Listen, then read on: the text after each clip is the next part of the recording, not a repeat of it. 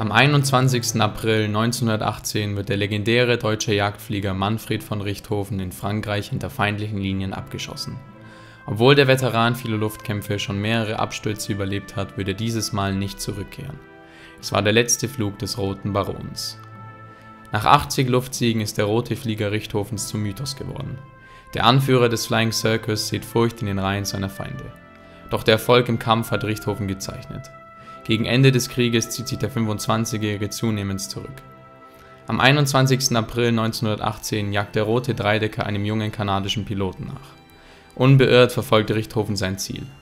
Als sie die britischen Linien überqueren, eröffnen australische MG-Schützen das Feuer. Eine Kugel trifft Richthofen.